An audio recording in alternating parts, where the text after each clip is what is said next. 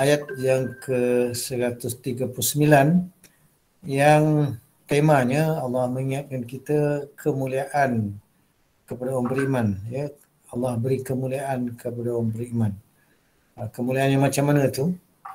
Uh, firman Allah taala a'udzu billahi minasyaitonir rajim ولا تهنوا ولا تحزنوا وأنتم الأعلون إن كنتم مؤمنين صدق الله العظيم Okey, uh, Abang Lidin kita bacakan terjemahan ya.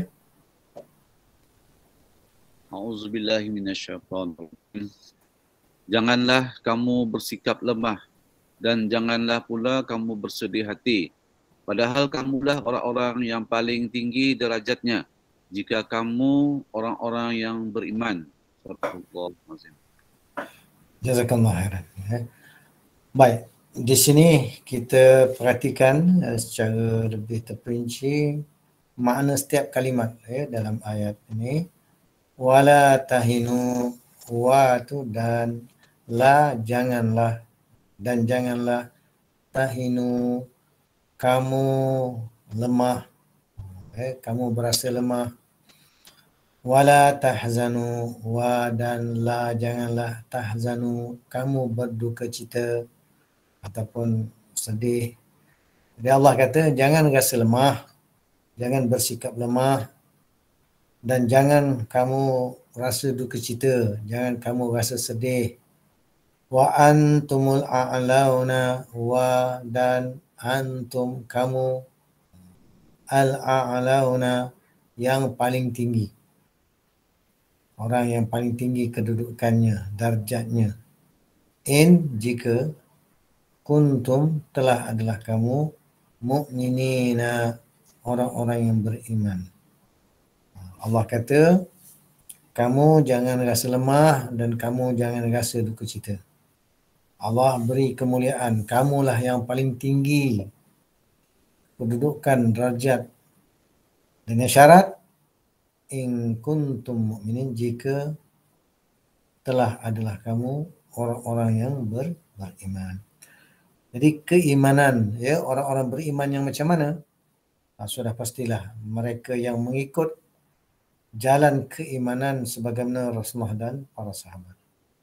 Ada ayat lain ya dalam Al-Quran Allah beritahu fa in amanu bimithli ma amantum bihi faqad ihtadaw. Fa in amanu maka jika telah beriman mereka bimithli dengan semisal dengan seumpama. Ma amantum bihi apa yang telah beriman kamu dengannya itu kamu ni siapa? Rasulullah dan para sahabat faqad ihtadaw maka berpetunjuklah oleh mereka ha, di sinilah kita kata keimanan jalan keimanan nak jadi orang beriman ikut jalan Rasulullah dan para sahabat kita sedang hidup di akhir zaman yang mana kita tahu umat Islam berpecah belah, umat Islam dalam keadaan tidak bersatu, ramai. Tapi Nabi kata apa? Macam buih. Utha um kautha isail. Sebagaimana buih-buih yang dibawa arus. Maka dalam keadaan umat yang berpecah belah ini, Nabi kata apa? Taftarika ummati ala thalathin wa sab'ina millah. Ia berpecah umatku ni kepada 73 millah kelompok agama. Jadi yang umat berpecah-pecah ni Rasulullah kata apa? Kulluhum finnar illa millatan wahidah. Semua tu masuk neraka kecuali milah yang satu. Kecuali ada satu kelompok sahaja yang ada jaminan selamat daripada neraka. Illa millatan wahidah. Sahabat bertanya, Man hiya ya Rasulullah? Siapa dia wahai Rasulullah? yang ada jaminan selamat daripada neraka yang satu kelompok ni. Kata Rasul, ma ana alaihi wa ashabi. Apa yang aku berada di atasnya. Sebagaimana aku berada di atas agama Allah ini, wa ashabi dan juga sahabat-sahabatku. Maknanya jalan keimanan, jalan keislaman. Ha, jalan Rasul dan para sahabat dalam berpegang kepada agama Allah. Maka itulah jalan yang kita perlu usahakan. Mengatur kehidupan kita, uh, mesti ikut agama Allah, ikut jalan keimanan, jalan keislaman sebagaimana Rasulullah dan para sahabat. Kalau yang lain daripada itu, tak ada jaminan selamat dari api neraka. Dan kita tahu di akhir zaman umat Islam kita memang hari ini berpecah belah. Banyak kelompok yang macam-macam. Maka Nabi kata tentukan ya kita berada sebagaimana ma ana alaihi wa ashabi. Apa yang aku berada di atasnya dan sahabat-sahabatku. Maka itulah golongan yang selamat. Ha, maka kalau begitu, jangan rasa lemah, jangan rasa duka cita. Kamulah yang paling tinggi kedudukan darjat di sisi Allah Ta'ala. Itu sebab dalam hal keimanan itu terkait dengan ketakwaan. Inna akramakum indallah atqakum. Sesungguhnya paling uh, paling mulia kamu. Akramakum indallah di sisi Allah. Atqakum yang paling takwa ni kamu orang yang paling menjaga hubungan dia dengan Allah Subhanahu Taala. Ya. Jadi dalam hal takwa dia sangat menjaga kehidupan dia ni supaya apa? Dia menjadi hamba-hamba yang taat, mengerjakan segala titah perintah Allah dan meninggalkan segala larangan-larangan Allah. Ha, begitulah kita. Kita nak berusaha ke arah tu. Jadi untuk itu kehidupan individu, kehidupan berkeluarga, kehidupan bermasyarakat, eh, kehidupan berorganisasi, kehidupan bernegara dan kehidupan di peringkat global. Ha, mestilah dia atur mengikut syariat Allah, peraturan Allah. Ha, ini pentingnya kita memahami perkara-perkara macam ni kerana bila kita lihat perkara yang menyimpang tak betul, tak mengikut sebagaimana Rasul dan para sahabat, maka tanggungjawab kita bersama untuk membetulkannya. InsyaAllah. Jadi dalam uh, sesi pada malam ni kita nak tengok bagaimana kemuliaan ya orang beriman yang mana ah, ini yang kita nak kaji Nabi menceritakan mengenai dengan kehormatan darah seorang muslim ah, bagaimana kemuliaan seorang muslim tu darah marwah ah, yang ada bagaimana kedudukannya eh, di sisi Islam di sisi Allah Taala Baik, hadis yang ke-35. Hmm. Uh, kita tengok hadis ni ringkas saja ya. La zawalul dunya, la zawalud dunya ahwanu 'ala Allah min qatli mu'minin bi ghairi haqqin.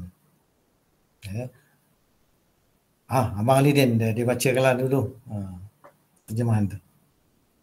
Bismillahirrahmanirrahim hancurnya dunia lebih ringan di sisi Allah daripada terbunuhnya seorang mukmin tanpa hak. Hmm. Hadis riwayat Ibnu Majah nombor 2609. Ha, itu satu hadis ya. Ha, tengok hadis satu lagi panjang. Nanti kita ulas dia. Haddatsana Abdullah ah, Abdullah bin Amr. Qala raaitu Rasulullah sallallahu alaihi wasallam yatufu bil ka'bati wa yaqulu ma at yabak wa at yaba ريح ريحك ما أعظمك وأعظم حرمتك والذي نفس محمد بيده لحرمة المؤمن أعظم عند الله حرمة منك ماله ودمه آه، Baik, kita tengok terjemahan dia. Surah Al-Baqarah.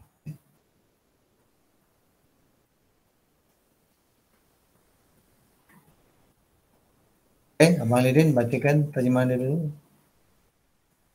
Diceritakan pada kami dari Abdullah bin Umar yang berkata, aku melihat Rasulullah sallallahu alaihi wasallam sedang tawaf mengelilingi Kaabah seraya hmm. berkata betapa baik dan harumnya engkau yakni Kaabah betapa agungnya dan besarnya kehormatanmu demi zat yang jiwa Muhammad berada di tangannya sungguh kehormatan seorang mukmin itu jauh lebih agung di sisi Allah daripada kehormatanmu baik hartanya maupun darahnya hadis riwayat Ibnu Majah nombor 3922 Hmm, ya, jadi itu dua hadis yang terkaitan dengan kehormatan ya, bagi seorang uh, orang beriman tu. Kita tengok semula hadis ni, ya, kita tengok per kata, per kalimat. Baik. Uh, la zawalu, ya, lam tu sesungguhnya, ya. Lam tu sesungguhnya zawalu. Ada kehancuran ya dunia dunia itu iaitu kehancuran dunia itu ya ahwan uh, lebih lebih rendah uh, ataupun lebih ringan uh, lebih rin, uh, lebih ringan ala Allah atas Allah min daripada ya qatli uh, pembunuhan mukminin orang beriman bi ghairi haqqin bi dengan ghairi tanpa haqqin hak. Okay. Jadi Rasul bagi tahu ya sesungguhnya ya kehancuran dunia itu jadi bila kalau dunia ni hancur lebur di sisi Allah Taala ini lebih ringan. Okay. Kerana ada yang lebih berat. Apa dia? Pembunuhan orang beriman tanpa hak. Jadi kalau kita kata Ah, kalau dunia hancur ni perkara kecil. Ada perkara yang lagi besar. Ada perkara yang lagi berat. Iaitu kalau terbunuhnya orang beriman, uh, dia dibunuh, terbunuh tanpa hak. Maka di sinilah yang kita kata meletakkan bagaimana martabat kedudukan seorang beriman itu di sisi Allah Ta'ala jauh besar nilainya daripada dunia ya ini sendiri. Jadi kalau dunia ni hancur itu perkara kecil. Tetapi kalau orang beriman itu ha, hancur ataupun dibunuh tanpa hak itu lagi berat. Nah, eh, jadi nak kita nampak bagaimana uh, kemuliaan, bagaimana status kedudukan orang beriman itu sebenarnya di sisi Allah Taala ada satu perkara yang besar. Eh? Baik. Ha, itu hadis yang pertama. Hadis yang ke-35. Baik, hadis yang ke-36. Eh, haddathana Abdullah eh, bin Umar. Umar ya, Abdullah bin Umar. Haddathana telah berkata kepada kami oleh Abdullah bin Umar.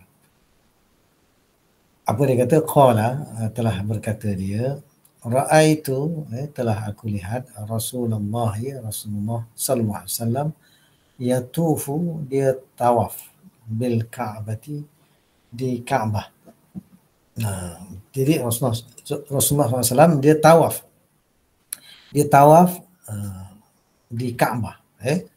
Uh, wa yaqulu dan dia berkata, mana Rasul sallallahu alaihi wasallam bercakap berkata, ma'at yabak ma'at yabak ma ni makna kita alangkah ma alangkah ya at yaba uh, mana telah baik uh, ki itu engkau uh, engkau tu itu Kaabah uh, alangkah amat baik engkau uh, jadi taib at yaba paling baik, amat baik.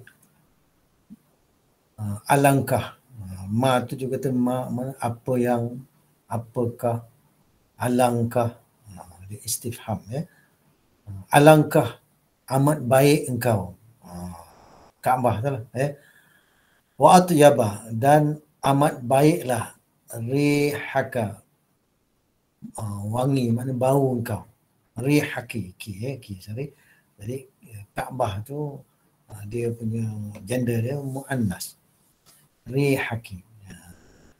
Dan amat baiklah bau kau, mana wangi akan Kaabah itu. Ma'azamaki ma alangkah ya a'zama amat besar. Agung. A'zama ni makna agung. Alangkah agungnya ki engkau. Kaabah engkau ni amat agung lah. Makna kedudukan dia status dia. Wa a'zama hurmataki hurma hurmataki dan amat agung lah. Agung ni amat mulia lah. Amat besar lah juga kehormatan engkau. Hormataki.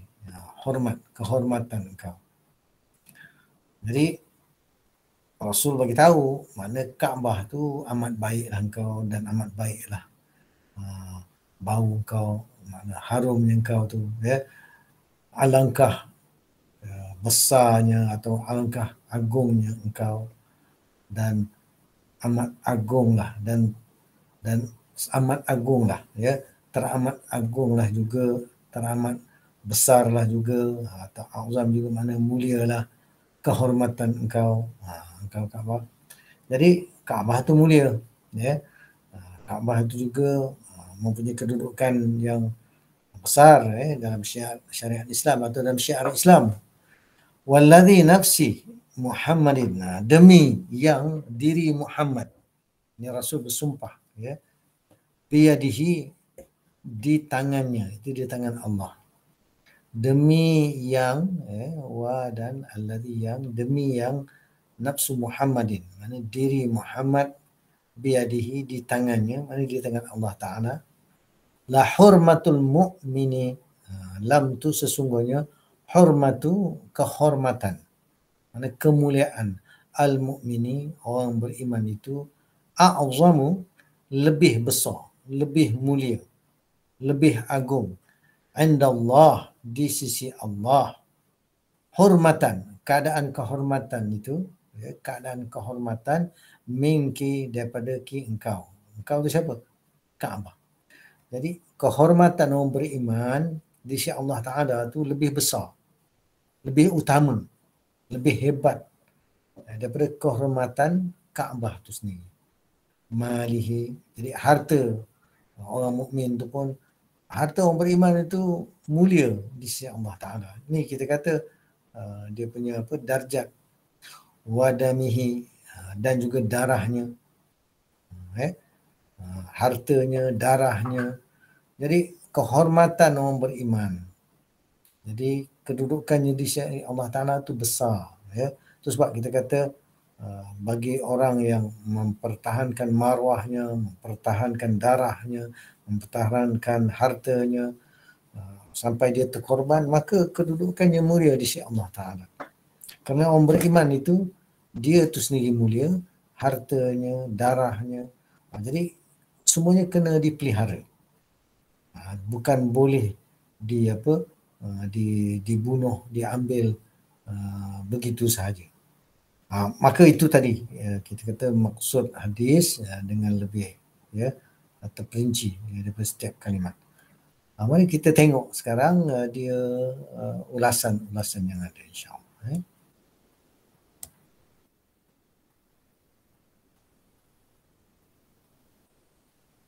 Itu tadi uh, terjemahan kita dah baca secara umum dan juga terjemahan perkata. Maka kita tengok penjelasan. Ya, penjelasan yang terkait uh, dengan hadis ini. penjelasan. Ah, okey, yang pertama iaitu meskipun Kaabah dianggap sebagai simbol Islam, ah, syiar Islam yang paling besar, yang amat besar, di mana kaum muslim di seluruh dunia wajib menghadapkan wajah mereka ke arahnya paling tidak lima kali dalam sehari. Sebab kita solat, ya, kiblat kita adalah itu mana Kaabah tu kiblat arah kita uh, bila nak solat uh, kita menghadap ke arah Kaabah. Uh, dan ini syiar Islam eh. Manakala manakala solat di dalamnya akan mendapat pahala yang jauh lebih besar daripada solat di tempat-tempat lain. Nah, begitulah eh. Kalau orang berpeluang solat dalam Kaabah apatah lagi berada di Masjidil Haram dekat dengan Kaabah uh, maka mempunyai kemuliaan-kemuliaan uh, kita kata ada uh, dia panggil apa fadilat-fadilat yang tertentu. Mana mendapat pahala yang besar daripada solat di tempat-tempat lainnya akan tetapi ya kemuliaan darah seorang mukmin uh, dalam pandangan Allah ataupun di sisi Allah Taala jauh lebih berharga dibandingkan kemuliaan bangunan Kaabah tu. Itu bangunan yang pertama kali dibangun untuk uh, menyembah Allah Taala untuk beribadah kepada Allah. Baik. Ini uh, kita kena faham bahawa kita tahu ya Kaabah tu uh, dibangunkan ya Kaabah tu adalah kita kata syiar Islam ia adalah kiblat dan kemudian uh, Kaabah berada di Masjidil Haram. Okay. Jadi solat uh, di sisi ataupun di Masjidil Haram dekat dengan Kaabah bagi mereka yang dah pergi haji, umrah, ya, macam saya Alhamdulillah syukur kerana dah pernah merasa ya, uh, orang kata solat. Uh, kita melihat uh, Kaabah ada pandangan mata kasar kita sendiri menghadap ke sana ya. Dan alhamdulillah ya berpeluang duduk dalam saf pertama. Jadi begitu juga kita tahu kemuliaan Kaabah tu. Ya dia kalau kita pergi haji pergi umrah ha, jadi bila kita apa melihat Kaabah ada doa dia. Ada doa khusus ha, yang kita baca bila melihat Kaabah jadi kita tahu kedudukan Kaabah tu mulia. Namun kemuliaan darah orang beriman jauh lebih berharga ya dibandingkan kemuliaan bangunan Kaabah itu sendiri. Jadi ini kita kata ya bangunan-bangunan batu kan. Dan eh, bangunan ini bukan sembarangan bangunan itu Kaabah mulia Namun kemuliaan orang beriman, kemuliaan darah orang beriman uh, di sisi Allah Taala jauh lebih mulia daripada Kaabah itu sendiri. Ya. Jadi ini kita kena faham bahawa uh, dalam Islam letakkan ya marwah ya kemuliaan uh, darjat orang beriman itu bukan satu perkara yang remeh. B. Ya. Kerana kemuliaan darah seorang Muslim dianggap ataupun di sisi Allah Ta'ala itu lebih berharga dibandingkan kemuliaan Kaabah bahkan lebih berharga daripada dunia dan isinya. Kan tadi ada yang mula-mula tadi kalau kalau hancur dunia seisinya masih lagi ringan di sisi Allah Ta'ala daripada uh, pembunuhan orang beriman tanpa hak. Jadi lebih berharga daripada dunia dan segala isinya. Maka wajib bagi kaum muslim menempatkan kemuliaan darah saudara dan saudarinya pada posisi yang utama dan pertama. Serta memandang bahawa penodaan, kalau dinoda terhadap kemuliaan darah kaum mukmin itu lebih buruk daripada serangan terbuka terhadap kaum. Jadi kita kena faham uh, apa yang Nabi sebutkan ini ya. Dan sebagaimana dalam ulasan ini mengingatkan bahawa ya darah orang Islam, darah orang beriman, darah tak kira laki-laki atau perempuan orang Islam orang beriman. Itu adalah uh, kita panggil marwah yang perlu dijaga, kehormatan yang kena dijaga. Kalau ditumpahkan darah tanpa hak maka perlu dibela. Tidak boleh dibiarkan begitu sahaja ya jadi ada yang sesiapa nak menodai itu dia penodaan mana pencemaran ataupun kita kata uh, orang yang uh, melampaui batas ya uh, dengan menumpahkan darah orang beriman dengan membunuh orang beriman tanpa hak uh, apatah lagi ya Uh, kalau marah kehormatan itu dicemari. Kita tahu bagaimana kaum muslimin kita yang di apa di sebahagian ya uh, kita tempat di Syria, di Iraq, di Afghanistan, ya, di selatan Thai, selatan Filipina, di Syria, di Yaman dan banyak tempat. Darah kaum muslimin kita ya, ditumpahkan darah di bumi Palestin, di Masjidil Aqsa, maka pembelaan terhadap darah kaum muslimin ini kena di kena dilaksanakan sebenarnya. Siapa yang ada bidang kuasa ni?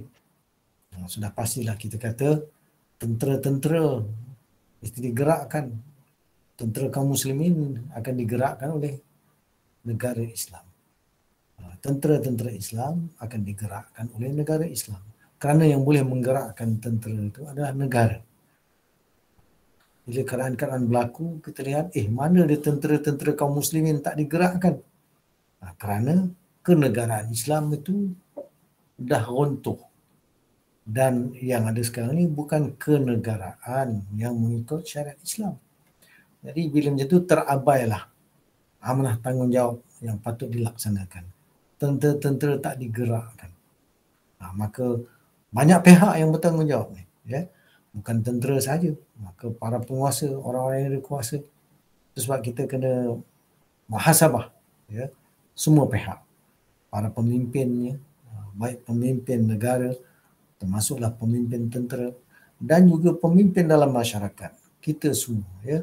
Kerana menyedar perlu menyedarkan ya seluruh umat Islam apa yang perlu dibuat ya, dalam kita nak menjaga darah kehormatan ya kaum muslimin yang hari ini bukan satu orang oh, bilangan yang sangat banyak yang darah mereka, harta mereka, kehormatan mereka tercemar, dinodai dan perlu pembelaan tapi masih belum terlaksana lagi. Baik kita tengok lagi ya uh, ulasan ya C ya. Oleh kerana itu masalah paling penting bagi kaum muslim saat ini adalah bagaimana menjaga kemuliaan darah orang-orang mukmin.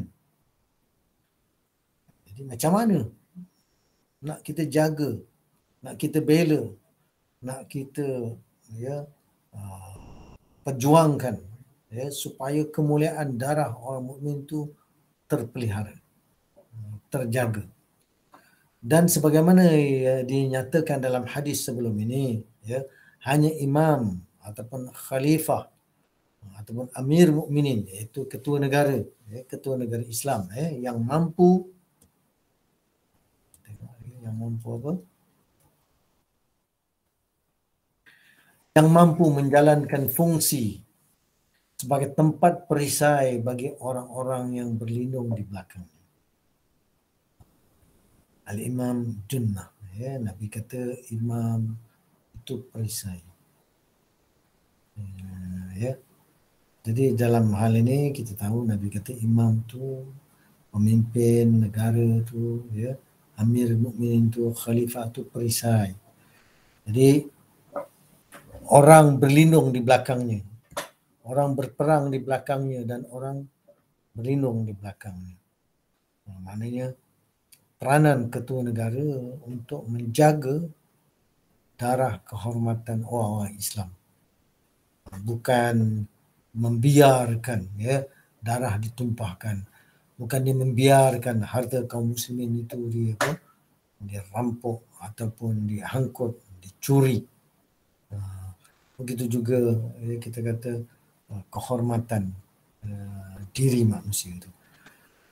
Jadi dalam hal ini ini yang kita kata apabila kenegaraan Islam itu tidak ditegakkan semula atau belum ditegakkan semula maka banyak masalah dalam dunia kaum muslimin ini terabai ya tak terbela. Maka kembali kita melihat kepada ya, hadis tadi ya. Nabi kata ya wallazi nafsu muhammadin biyadihi la hurmatul mu'min a'zamu 'inda Allah hormatan mengki. Sesungguhnya ya kehormatan orang beriman itu a'zamu amat besar teramat uh, mulia agung di sisi Allah taala akan kehormatan tu uh, daripada kehormatan Kaabah tu sendiri. Begitu juga malihi. Uh, eh, hartanya harta orang mukmin tu. Wadamihi dan juga uh, dam tu. Harta eh apa darahnya. Darah orang beriman pun ya sangat mulia di sisi Allah taala. Nyawa dia jadi kalau kita meneliti dalam al-Quran ada ayat ya, yang Allah perintahkan ya qatilu fi sabilillah alladhina yuqatilunakum wala ta'tadu dan berperanglah kamu pada jalan Allah berperanglah kamu pada jalan Allah terhadap orang-orang yang mereka memerangi kamu. Alladzina yuqatilunakum. Terhadap orang-orang yang mereka memerangi kamu. Wala ta'tadu dan jangan kamu melampaui batas. Sebenarnya Allah suruh seluruh ya, kaum muslimin kena faham amanah tanggungjawab ini. Itu apabila kita diperangi, maka kita tak boleh duduk diam. Kita mesti memerangi semula orang-orang yang memerangi kaum muslimin. Apatah lagi mereka membunuh, menumpahkan darah, mengambil harta dan kehormatan-kehormatan wanita, anak-anak, orang tua ya, ah, dicabul ah, dan di, di, dihina. Ya. Maka kita tak boleh duduk diam. Itu sebab ah, dari sudut ketenteraan tentera-tentera Islam sebenarnya mempunyai tanggungjawab yang besar ya, untuk membela kehormatan orang Islam kita. Dan tentera hanya digerakkan oleh negara. Itu sebab kenegaraan sangat penting dalam Islam. Ya. Kerana apa? Negara lah yang ada bidang kuasa menggerakkan tentera-tentera. Dan tentera Islam akan digerakkan oleh negara Islam. Itu sebab penting kita kena faham kenegaraan yang telah runtuh ya pada tahun 1924 bila akhir sekali kerajaan Islam pusat pemerintahnya Osmaniyah Turki selepas runtuhnya dia pada tahun 1924 maka lepas daripada itu kita kata negeri-negeri kaum muslimin menjadi negeri-negeri yang lemah dan kemudian tidak bersatu. Uh, bahkan sesama kaum muslimin negara kaum muslimin pun bila di muslimin sesama negeri kaum muslimin pun ada berperang alangkah dahsyatnya ya. Uh, fitnah yang berlaku keadaan yang berlaku ya lemahnya umat Islam sampai sesama kita berbunuh-bunuhan berperang pun ada macam-macam perang yang kita telah lihat ya bagaimana negeri-negeri kaum muslimin berperang sama dia sepatutnya kita bersatu dan kita menghadapi musuh-musuh umat Islam. Maka kita kena kaji bagaimana kenegaraan Islam dan bagaimana pula kenegaraan-kenegaraan yang bukan Islam. Macam mana uh, sebenarnya interaksi uh, hubungan antara negara ini. Uh, mesti mengikut apa yang disyariatkan oleh Allah. Bukannya ikut apa yang hari ini ditaja oleh musuh-musuh Islam, ditaja oleh dunia barat, yang memusuhi Islam. Yang kita tahu hari ini ya PBB ya United Nation dia pula yang mencaturkan bagaimana hubungan-hubungan antara negara yang yang berlaku. Nah, maka kita kaum muslimin kena sedar bahawa kita sebenarnya dipertanggungjawabkan untuk memimpin dunia. Dunia manusia. Umat Islam dia kena memimpin umat manusia yang lain. Sebab apa? Sebab umat Islam ada kebenaran di sisinya, Al-Quran di sisinya, agama Allah di sisinya dan apa yang Allah telah turunkan daripada kitabnya dan syariatnya adalah untuk manusia dan ini adalah rahmat bagi sekalian alam ya sebagaimana Allah beritahu dalam satu ayat wa ma arsalnaka illa rahmatan lil alamin. Tidak kami utuskan kau wahai Muhammad melainkan untuk rahmat bagi sekalian alam. Dan Islam datang membawa rahmat. Bukan Islam datang untuk mempurak furandakan keadaan. ataupun nak menghancurkan suasana. Tidak, Islam datang adalah untuk kebaikan. Tetapi hari ini masalahnya umat Islam ramai tak faham Islam yang kafah, Islam yang lengkap sempurna. Bagaimana sistem itu adalah yang terbaik untuk diterapkan, dilaksanakan. Ya. Dalam mengatur ekonomi, dalam mengatur pendidikan, dalam mengatur pergaulan sosial dalam masyarakat, dalam mengatur undang-undang, ada mengatur uh, mahkamah-mahkamah yang akan ya memberikan keadilan. Jadi kenegaraan Islam itu sebenarnya adalah kenegaraan yang apabila dilaksanakan dia membawa rahmat. Memanglah musuh-musuh Islam akan memberikan apa macam-macam propaganda negatif, memburuk-burukkan. Seolah-olah bila tertegaknya kenegaraan Islam itu oh, makin hancurlah dipanggil kehidupan manusia. Tidak, sebenarnya dengan Islam lah uh, yang membawa pada kehidupan sebenar. Ya. Uh, dalam satu ayat Allah beritahu, istajibu lillah walil rasul idza da'akum lima yuhyikum. Istajibu lillah. Menyahutlah kamu seruan Allah dan juga seruan Rasul. Ya, idza da'akum lima yuhyikum. Apabila telah menyeru ya bagi apa yang menghidupkan kamu. Jadi kehidupan sebenar adalah kehidupan yang mengikut apa yang Allah syariatkan. Kerana Allah ciptakan manusia, Allah paling tahu apa yang terbaik untuk manusia. Dan Allah turunkan syariat, Allah turunkan kitabnya, kitab pedoman, Allah bangkitkan Rasul untuk menerangkan bagaimana uh, peraturan-peraturan hidup yang Allah sebut syara'alakum minad din telah isyariatkan bagi kamu ad-din itu bila Allah yang syariatkan, Allah yang buat peraturan dan Allah yang paling tahu untuk kita apa yang terbaik untuk kita manusia. Baik untuk kehidupan individu, baik kehidupan berkeluarga, baik kehidupan masyarakat, baik kehidupan bernegara, baik kehidupan uh, di peringkat global uh, dunia. Bahkan hubungan kita dengan alam semesta. Uh, kita manusia adalah makhluk yang diuji. Termasuklah juga apa? Uh, golongan jin masuk yang diuji. Yang Allah kata wa ma khalaqtul jinna wal ins illa liya'budun. Tidak aku ciptakan jin dan manusia melainkan supaya mereka beribadah mengabdi padaku. Uh, maka kita diuji. Supaya apa? Supaya mengerjakan ketaatan. Supaya apa? Uh, seiring harmoni dengan uh, alam semesta makhluk yang lain ya. Segala di langit di bumi Allah kata subhanallahi ma fis samawati wa fil ard. Bertasbih kepada Allah taala. Apa yang ada di langit apa ada yang di di bumi. Mereka semua dalam keadaan taat bertasbih kepada Allah taala. Ada ayat lain ada satu ayat Allah kata apa? Kullun qad alima salatuhu wat tasbihah kullun ha, tiap-tiap sesuatu. Semuanya itu. Qad alima salatuhu. Sesungguhnya telah mengetahui ia cara solatnya. Tasbihah. Dan cara tasbih dia. Jadi makhluk-makhluk Allah yang lain ya semua dalam keadaan taat. Selain daripada jin dan manusia semuanya dalam keadaan taat. Bertasbih memuji-muji Allah.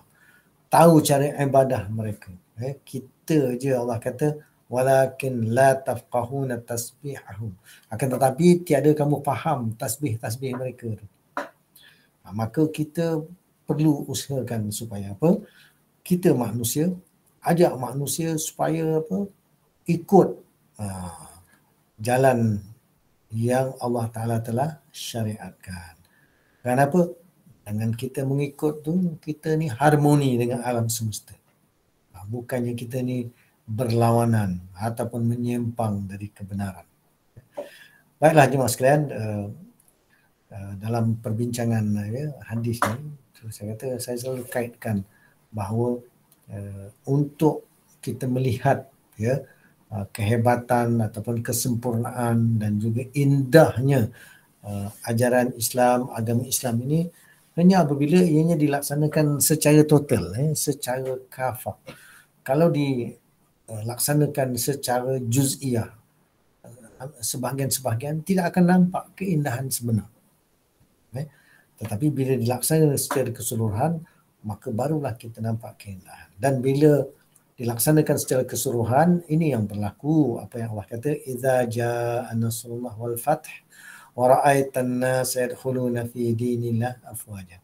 Apabila telah sampai, telah datanglah pertolongan Allah dan juga kemenangan, pembukaan. Wara'aitan nas, engkau akan lihat manusia itu. Yadkhuluna fi dinillah afwaja. Mereka masuk dalam agama Allah ni berbondong-bondong.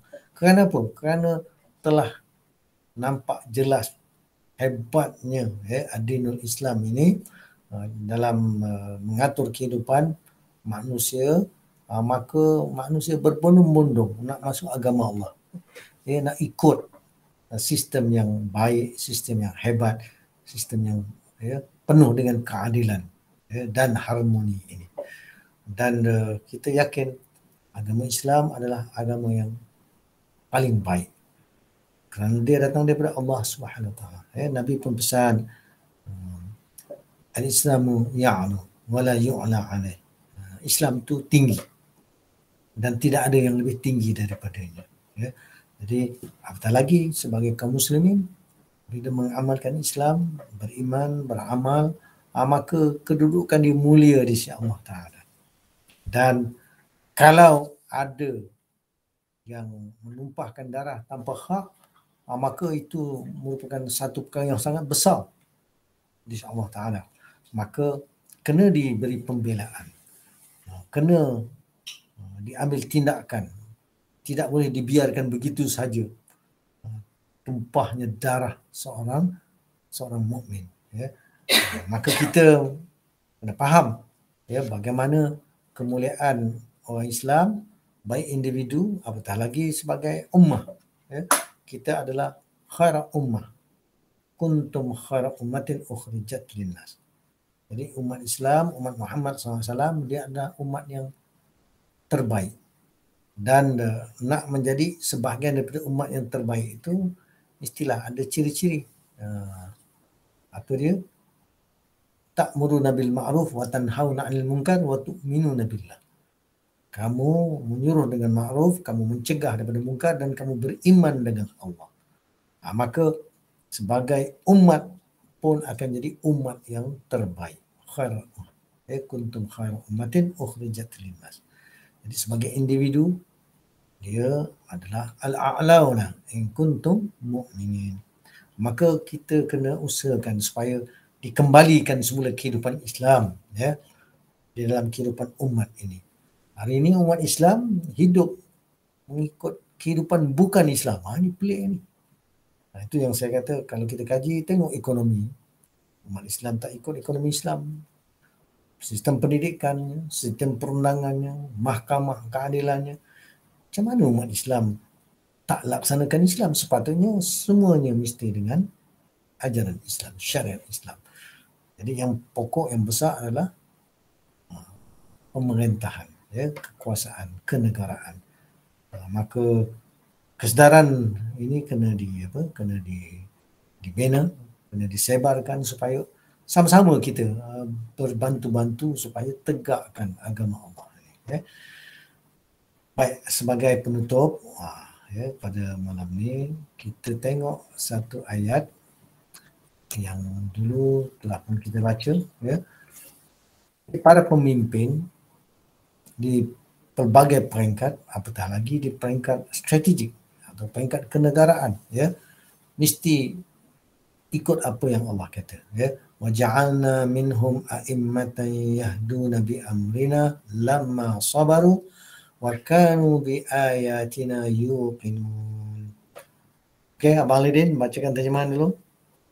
Auzubillahiminasyaitanirrajim. Dan kami jadikan di antara mereka itu pemimpin-pemimpin yang memberi petunjuk dengan perintah kami ketika mereka sabar. Dan adalah mereka meyakini ayat-ayat kami. Sadaqallahulazim. Baik, ini ayat daripada surah As-Sajdah, ya, ayat yang ke-24. Ah, kita ulang-ulangkan apa yang Allah kata ya supaya kita uh, meneliti ya uh, kita memahami dia sebab kita nak jadikan ini sebagai pedoman ya waja'alna minhum a'immatan yahduna bi amrina wa tu dan ja'alna telah menjadikan oleh kami ya minhum daripada mereka tu a'immatan. Imam-imam pemimpin-pemimpin. Yahduna mereka sentiasa menunjuk.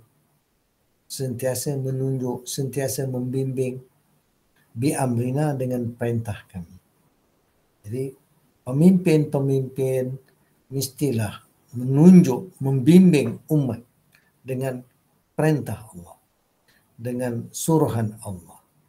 Jadi mereka Allah jadikan sebagai a'immatan, imam-imam, pemimpin-pemimpin. Lama sabaru ketika telah sabar oleh mereka. Penting ya untuk sabar melaksanakan ketaatan. Maka Allah Taala akan jadikan mereka sebagai pemimpin. Pemimpin yang Allah bantu dan Allah tolong wa kanu bi ayatina yuqinun dan telah adalah mereka dengan ayat-ayat kami mereka yakin. Yakin terhadap ayat-ayat Allah yakin terhadap kitab Allah yakin terhadap syariat Allah. Ha, para pemimpin di semua peringkat ya kita kata kita pimpin diri kita sebagai individu. Kita pimpin keluarga kita sebagai bapa sebagai suami ya pimpin isteri dan anak-anak memimpin membimbing eh bukan menyesatkan. Kemudian dalam uh, organisasi dalam komuniti uh, maka ada banyak uh, orang yang memegang tanggungjawab sebagai pemimpin sebagai ketua pengurusi uh, diberi amanah untuk mengetuai mengepalai uh, organisasi agensi uh, ataupun persatuan ya, ataupun kita kata mungkin uh, komuniti ya, baik uh, kita ada pengurusan masjid, surau, uh, persatuan persatuan jemaah. Uh, apatah lagi di peringkat yang lebih besar, peringkat negara. Dan di peringkat kenegaraan bukan perkara kecil, eh, perkara besar. Dan uh, bagi umat Islam diberi amanah untuk memimpin dunia. Khalifatullah fil ard. Walladhi ja'alakum khalifah fil ard. Dia jadikan kamu sebagai khalifah-khalifah di di bumi itu. Ha, maka peranan untuk memimpin, membimbing dengan perintah Allah. Ha, kita jangan ambil mudah eh perkara ni. Kita kena beri perhatian serius supaya apa? Supaya amanah tanggungjawab dilaksanakan, bukan dikhianati. Tapi kalau tidak ada ilmu, tidak meneliti Al-Quran, tidak meneliti As-Sunnah, maka macam mana dia nak melaksanakan amanah tanggungjawab dengan betul? Ha, kerana kejahilan tak ada ilmu ataupun tak faham, ha, maka akan berlakulah pengkhianatan. Ha, maka kita tidak mahu perkara ini berterusan. Ya. Maka kita perlu mengajak, perlu mengajak semua peringkat. Ya. Baik orang biasa, apatah lagi orang yang ada bidang kuasa. Supaya apa? Marilah kembali kepada ajaran Al-Quran dan As-Sunnah untuk kita uh, membimbing uh, dunia, membimbing umat manusia dan umat Islam kena menjadi umat yang membimbing umat lain. Uh, bukan kita ni yang di apa dikuasai ataupun kita yang dihanyutkan mengikut uh, jalan yang tak betul. Ya. Kita tahu dah Al-Quran Allah pesan ya walan tarda anka yahudu walan nasara hatta tattabi'a millatahum. Dan sekali-kali tidak akan dia berpuas hati terhadap engkau. Wahai Muhammad dan juga umat engkau oleh Yahudi dan Nasrani itu hatta tattabi'a millatahum. Sehingga engkau mengikut milah agama mereka cara mereka beragama. Jadi Yahudi dan Nasrani mereka akan buat macam-macam cara. Apatah lagi ya, yang di belakang mereka tu iblis. Ha, eh, begitu juga di akhir zaman ada Ya'juj wa Ma'juj, ada Dajjal yang juga uh, membawa kekufuran. Ya, tu kata Nabi al-kufru millatan wahidah. Kekufuran tu milah yang satu. Maka mereka hendak supaya umat Islam ikut yang menyimpang ya, keluar dari ajaran Islam. Jadi Allah ingatkan, "Qul inna hudallahi wal huda." Katakan wahai Muhammad, "Inna hudallah." wal huda. Sesungguhnya petunjuk Allah itulah sebenarnya petunjuk. Wala ini taba'ta ahwa'ahum ba'da alladhi ja'aka minal ilm ma laka minallah min waliyyin wala nasir. Sekiranya engkau ikut hawa nafsu mereka, kehendak mereka, ba'da alladhi ja'aka minal ilm, selepas datang kepada engkau akan ilmu, syariat, peraturan dari Allah dah sampai tapi ikut ha, yang lain daripada Islam, yang bukan Islam. Ikut sistem yang bukan dari Islam ikutlah daripada Yahudi, Nasrani ataupun komunis ataupun sosialis ataupun kapitalis ataupun sekular. Kalau buat begitu dengan meninggalkan Islam, Allah kata malaka min Allah min waliyyin wala nasir. Tiada bagi engkau daripada Allah Taala. Itu min waliyin daripada penjagaan wala nasirin dan tidak juga pertolongan. Maka kalau begitu jadinya Allah tak tolong, Allah tak jaga, maka makin hancur, makin binasa, akan berpanjangan lah ya umat ini dalam keadaan yang lemah dan kita kata dizalimi. Dan kita tak mahu perkara itu berterusan maka perlu kita berusaha untuk membetulkannya ya. Baik jemaah sekalian saya kira sampai di sini sajalah dahulu ya perkongsian pada malam ini. Moga apa yang saya kongsikan tadi ya ada manfaat kebaikannya ya. Dan uh, mari kita akhiri program ni majlis ni dengan doa insyaallah. Semoga Allah Taala merahmati kita.